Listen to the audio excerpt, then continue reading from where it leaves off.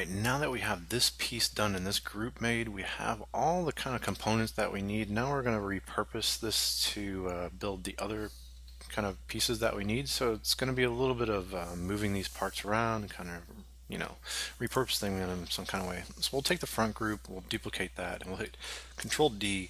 And just like we did with that pattern at the very beginning, we're back to this mode now where we'll hold down J and then rotate this thing into place.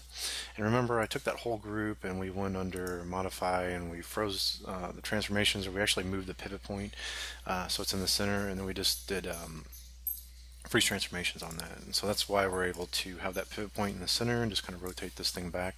Now we can change the name of this front group to back group. And because we duplicated it in this uh, front underscore gr, it Maya doesn't like anything to be named the same thing, so it's going to put a 1 at the end, so we'll go to the end of that and get rid of that.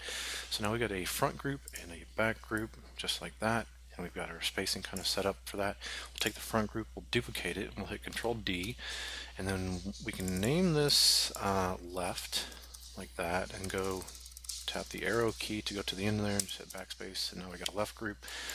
Now we can hold down J and we can rotate this thing into place like this. Now I know for the crate that I was building, I didn't want this center piece like this, so I'll just select it and we can just hit uh, backspace to get rid of it completely like this. And um, now we've got this kind of interesting thing going on where we've got these boards that are too too big for this. Um, what we can do for these boards that we see here, we can move these and we'll uh, select it, hold down X, and we'll just uh, snap this into place, moving it over like this, and we'll take this one, hold down X, and then move it into place like that. So that's pretty uh, simple for those boards. Now what we got to do for the top ones is a little bit more difficult. Um, we had to take the verts and we had to snap them over to this thing here. But if you remember what we did before in the last video, if we just hit F9, we can select these verts that we have here, like this. We want the pivot point to be on the um, very outer part of this. So we'll tap D to move the pivot point, hold down V, and then snap to the edge there like that. We'll double click on the move tool and go to move and snap settings, make sure retain component spacing's on for this part. Um, so we can tap uh, D to go back into the move part and we'll hold down um, V to turn on vert snap, snap to verts and we'll just move it along this axis until we kind of snap up to these points right here. So I'll hold down V and then move it right there like that. So you can see that's uh, not too difficult. It's just kind of remembering we're going to drag it along through here, tap D to move our pivot point, hold down V, oops sorry I accidentally hit spacebar, hold down V and move it along right through here, snapping through there and then tap D to get back. Now hold down V to snap right to these verts that you see here and let's go down to the bottom piece here. Let's select it like that. Drag a marquee around all these guys. Tap D. Hold down V to snap that pivot point. Tap D to go back into the regular move mode. Hold down V and then move along this axis and then move it right to that point that's there. And sorry about that, I keep accidentally grabbing the spacebar instead of Alt. And we'll grab this right here like this we'll tap D, hold down V, snap to this point here, tap D to go back into the regular moving mode, hold down V and click and then drag right there like that. So that wasn't uh, too difficult, right? Um, let's take a look at this in through here. I do know that for this pattern, I know this might be just getting a little, a little silly about some of this stuff, but um, I don't like how these uh, boards kind of overlap like this. So I, I know that we can take this and hold down X and then move it right there like that. And then we could take each one of these boards and hold down X and then move them over slightly like this. Through there. And my thinking is I, I want this to actually make uh, physical sense because then later on when we build the game res mesh off of this high res mesh that we're building, uh, everything can kind of make sense for where everything kind of snaps up and joins together. So now we've got a left group and uh, the pivot point should be in the center like that. Um, we could freeze the transformations for it because we've got rotation on there. We don't have to. Now we can duplicate that, hit Control D like this, and we can uh, put on the rotate tool, E, hold down J, and we can snap, rotate this thing, um, and say 270 like that, and change the name from left to right, underscore, and then do group like that. Okay, so now we've got uh, the front, left, right, and the back, and we're moving along pretty quick here. Um, now I would like to go ahead and build uh, the top part of this. So we're going to take, um, let's take the left group and duplicate that. Hit Control D, and let's rotate it into place. Hold down J, and then rotate this 100 uh, no, sorry, 90 degrees like this.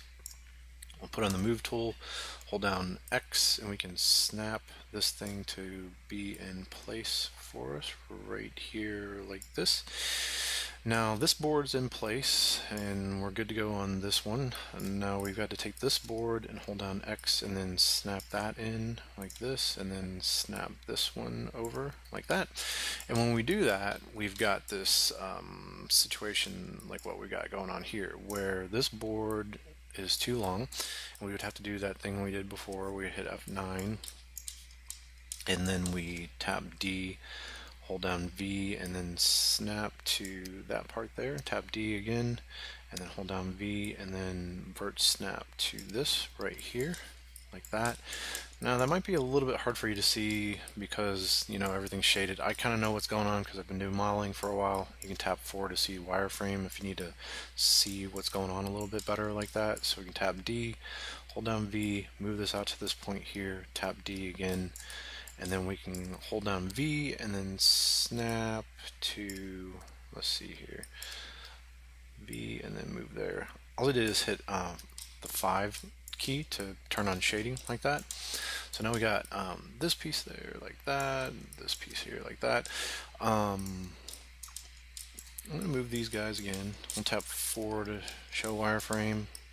Tap D hold down V snap to that right there. Tap D again and then hold down V and then snap to that. Tap 5 to go to shaded mode. I'll select this right here. We're going to do the same thing. Tap D, hold down V. And I know this is like a, a little bit tedious, but you know, um, I do think you learn some of these modeling things through muscle memory. Just you gotta keep doing this stuff like over and over and over again. Um, I'm gonna hit F8 just go into object mode. Uh, we can take a look underneath here. We can turn off the grid temporarily so we can kind of see what's going on underneath here.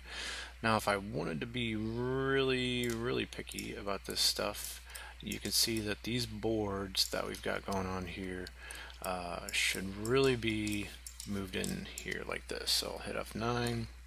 We'll do the same thing we did before. With this, we'll tap D, hold down V, move it out to there, tap D again, down V and then snap there. And then take a look at that in the shaded mode. And we'll do this one here. We'll grab this, we'll tap D, move it out, hold down V, move it to that point there, tap D, hold down V, and let's take a look here like this. And we got that one board. Now I instead of doing it for each one of those, what I'm going to do is just select these boards that you see here, delete them, get rid of them. I'm going to duplicate this. I'm going to hit Control D and put on the move tool and hold down X and then move this out like this. And if you remember from the last video, once we do that once, we can hit Shift uh, D and we can duplicate with that transform like that until we get all the boards that we need going all the way across just like that. Okay, so um, the other thing we could do is um, we could put another cross pattern on top here. I'll leave that up to you. If you want to do that, go ahead. I'm just going to go ahead and leave it uh, kind of blank like what you see there. So this will become a top group like this. And let's go ahead and duplicate the whole thing. Control D. um, what I could do is take this thing say modify freeze transformations, modify reset transformations like that, and that's going to put that pivot point back down to the center of the world. Turn my grid back on. You can always turn that on and off with this right here. We'll put on the rotate tool. So we'll tap E or you can click this here and hold down J and then rotate and snap that 180 degrees. And we'll put on the move tool and then we can hold down X and then drag up for this and get it into the right spot. And we'll turn this off here. And now you can see what we've got going on here for this whole thing. And we can take the whole group and hit control G like that and call this crate GR for crate group. And then we've got this whole new pivot point that lets us like rotate the thing and move it around. It kind of acts as if it's um, a single object now at this point which is kind of cool so let me turn this off here like this we'll go ahead and turn on the screen space ambient occlusion. Now I was getting a bit of slowdown, like I said, I was recording a video, but um, I showed you guys, you can go in the option box for that, and you could maybe bump the samples down a little bit. That seemed to give me better performance, and I put this on to 8. So everything looks pretty good. Let's see if I put it on 16 like that. That's where I'm starting to get a bit of the slowdown, which is kind of uh, kind of interesting that it's actually some of this anti-aliasing stuff, but that together with the screen space ambient occlusion um, should get a pretty nice shot of this and what this looks um, like geometry wise. Now, the other thing is if you want to show some wireframes inside of Maya, something that we could do pretty quickly is just take our crate group, make a new um, layer group like what we did earlier in the video for our scale reference. Uh, we can call this uh, crate layer. So I'll go over here like this and underscore layer. And we can give it a color of black like this and hit save.